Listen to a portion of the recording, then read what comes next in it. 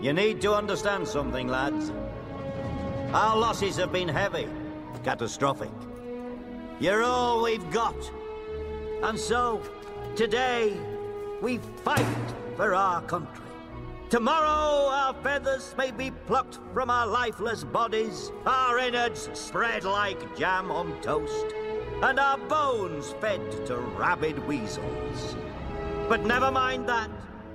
On this day, in this place, let it forever be known that you pigeons did your part in the heroic battle for... Se seeds! Freedom! Right!